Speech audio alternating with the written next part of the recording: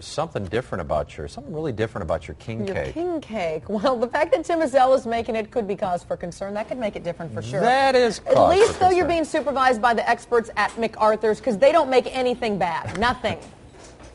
Exactly. Mm-hmm. I am under great supervision here from Randy McArthur as we do this experiment. You guys have already played with it some, but here it is. It's a king cake with a little different filling. Yeah, a little different. Yep, we're going brownie butter. It's gooey butter cake and brownie coming together and meeting inside your king cake. I love this Best idea. of three worlds, right? That's exactly right. So let's let's show them how we made it. We whipped up the gooey butter and the brownie right here. Right. I'm gonna put Throw it in there. two of those, right? Yeah, two of those. All right. I'm gonna throw that right in there. And you're gonna fill it up.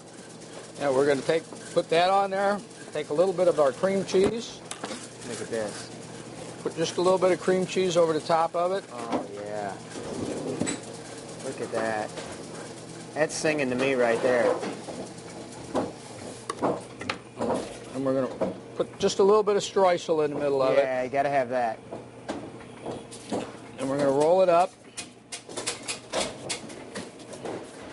Oh, look at that deal right there. Put it in the pan, Put the and that's two, ready to bake. two ends together. How long will you bake that for? We'll proof it, let the dough relax, and, and uh, proof up a little bit for about 15 to 20 minutes, and then 25 to 30 minutes in the oven. What if I can't wait that long? Well, we just happened to make one a little earlier ago this morning, and there it is. There it is. Oh, right there. Gov, you want a piece of that, don't you? Yeah, we All gave right, you the small knife. Yeah, give me the small knife. That's probably safest. Look at that right there. I'll give you a piece right there, Gov. All right. Gov's our official taster. So we'll get in, give it a taste. There you go. Don't cut yourself. there you go. Get it all on there. And here we go.